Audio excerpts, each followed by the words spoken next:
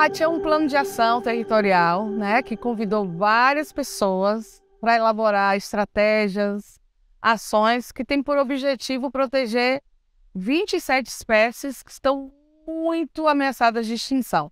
São criticamente ameaçadas de, de extinção.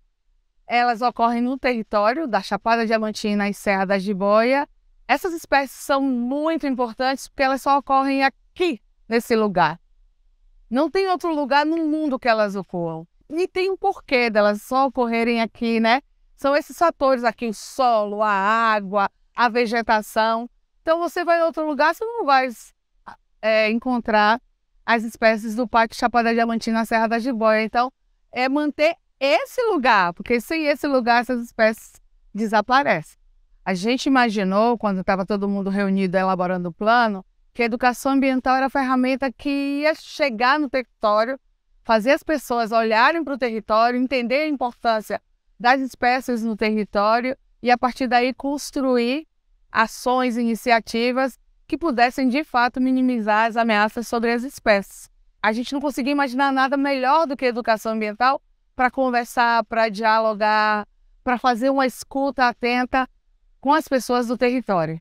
A primeira coisa que a gente vai fazer depois dessa excursão assim no território, essa vinda no território, é incentivar as pessoas a participarem do diagnóstico rápido participativo. E quanto mais gente diferente, melhor. Pessoas do turismo, pessoas das escolas, pessoas das comunidades, das prefeituras, convidar todo mundo para junto olhar mais uma vez para o território ver quais são suas potencialidades e como é que a gente pode trazer essas potencialidades para alavancar essas coisas que são importantes, turismo, educação, e assim contribuir para a conservação das espécies.